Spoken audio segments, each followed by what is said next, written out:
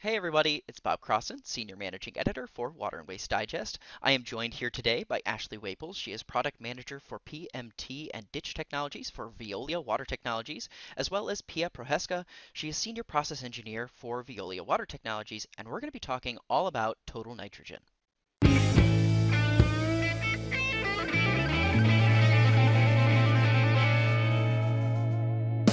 So thank you both for being here. I really appreciate you taking the time. Yeah, thanks for having us. Yeah, it's great to great to talk to you about this uh, th- this particular issue, total nitrogen and total phosphorus, both big issues I know that Veolia is talking about. But Ashley, could you give us a quick rundown when we're talking about total nitrogen? What are we talking about? What is total nitrogen? Yeah, so scientifically in wastewater, what what total nitrogen is is the sum of all nitrates, nitrites, organic nitrogen, and ammonia but it's a naturally occurring biological nutrient. So it's found in our water, in our soils, and of course our waste. It's used by plants um, as nutrient, and most notably, it's a compound, or it's it's made up in the compound chlorophyll molecule, which we all learn about in elementary school as part of being photosynthesis. So it enables plants to capture sunlight energy by photosynthesis.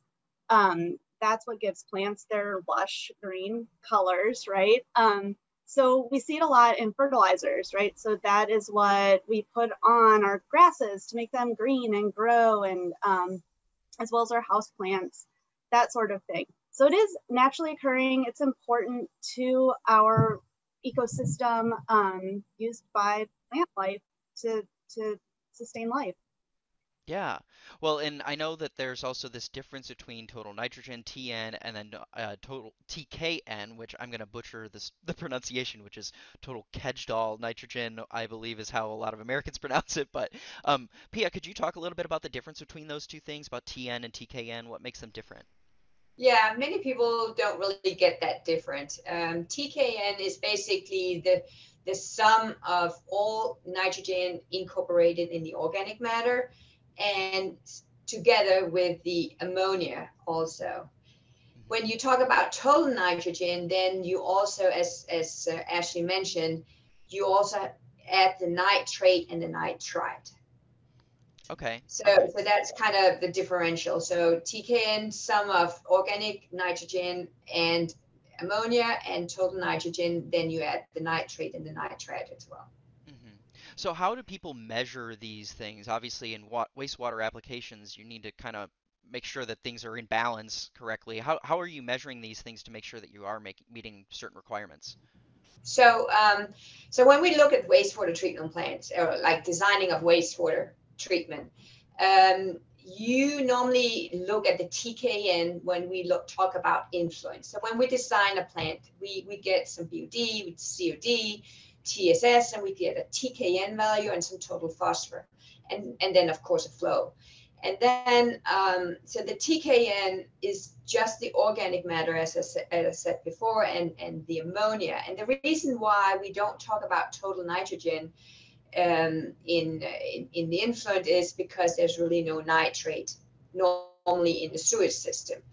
Uh, so it's not really, a, it's not a, it's not a parameter that you need to measure there uh, when we talk about the effluent, uh, then the total nitrogen is a totally that's a totally different thing because then in the effluent we have produced nitrate in our when we are uh, when we are excuse me um, removing the total nitrogen we are actually producing some nitrate. So there it's very valid to measure the total nitrogen. The difference between the two uh, one is that the, the tkn or total Kjeldahl nitrogen is the sum, as I said before, of ammonia and the organic matter.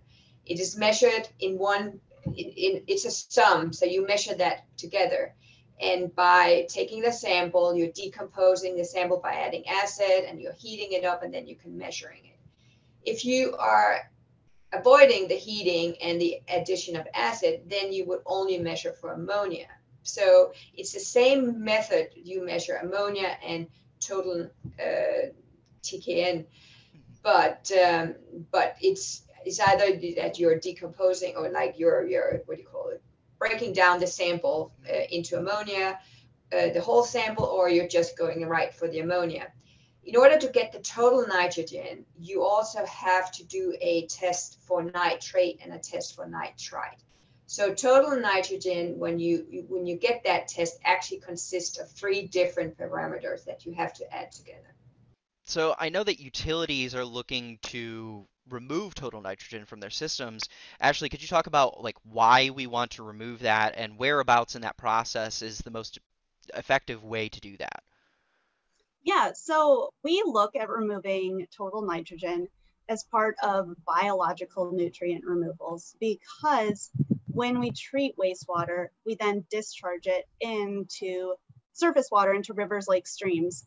Um, so it goes back into our ecosystem, which is this balanced living system. Um, so as we discussed earlier, total nitrogen is a nutrient um, that can affect how things grow. Um, primarily, uh, the component of total nitrogen ammonia is acutely toxic to uh, fish, that kind of thing. So if you've ever heard of like aquatic toxicology, there's lots of testing um, done to make sure that our ammonia levels or total nitrogen levels aren't too high when they're put back into rivers, lakes, and streams to keep fish alive. Um, so that's like a key component uh, as to why we want to remove ammonia just because it is acutely toxic, mm-hmm. as well as the total nitrogen component itself um, helps things to grow, like algae. So when we have algae grow on the surface of our lakes, um, it can uh, block sunlight from reaching the bottom of those lakes. So then any kind of animal or life source that's living on the bottom isn't getting that necessary sunlight to be able to sustain life. So it's uh, it's causing imbalance in the lake, as well as um, as that as that algae is growing and living on the surface of lakes, it's uh, it's actually producing BOD, which then in the fall when the algae dies off, uh, um, it, it actually steals the available oxygen, the BOD does, from all the from all the life in the lake. So then life doesn't have oxygen, which it needs in the water. Um, so depending on where we're discharging, uh, we have different biological nutrient removal requirements. Mm-hmm. Um, that's based on regions. Obviously, Great Lake regions have different constituents than maybe like Arizona. Um, it, it just it depends on where we're discharging, right? Mm-hmm. Um, so you've probably heard about total phosphorus already, and and that's a big one when we're discharging to big bodies of water, as well as total nitrogen, of course.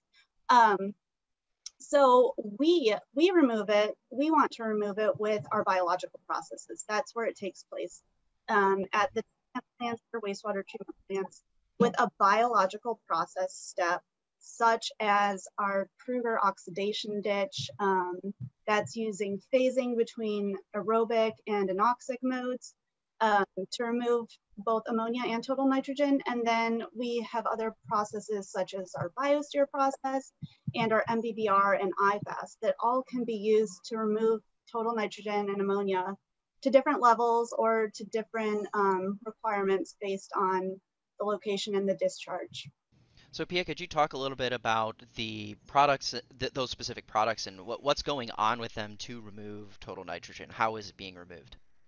Okay, so in the different products, uh, it is actually the, the the same processes that they are they're using the same processes, and it's it's a combination of different uh, groups of bacteria, and um, and then you apply different process conditions to to to the system to get the nitrogen removed in in real life or like in out in nature the, the, the normal way of, of removing nitrogen will be first that you have your organic nitrogen the you have your bacteria in your environment that would in that will have use enzymes to break down these organic uh, these organic matters into to to CO2 and into ammonia and then the ammonia will, with the help of oxygen and bacteria again, and these bacteria are autotrophic. So these bacteria really do not use any BOD.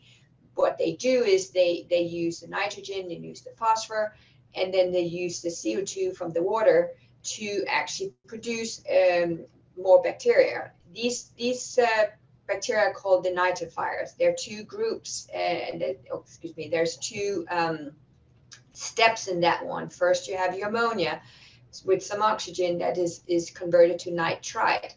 And then right after the nitrate is, is produced, then uh, another group of bacteria uh, will, um, will further oxidize the nitrite to nitrate.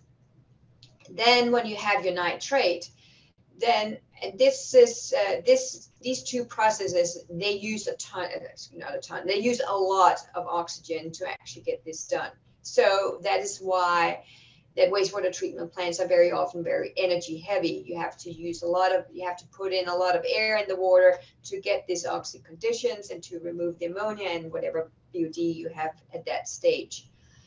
Uh, then after you have produced your nitrate, uh, you want to remove that because uh, that that um, that will also that will definitely have an impact on on the ecosystem and will produce a ton of, of algae in it if not removed. And the way you remove that one is that now this this group of bacteria that that remove that one uh, use nitrate instead of oxygen to oxidize the remaining BOD.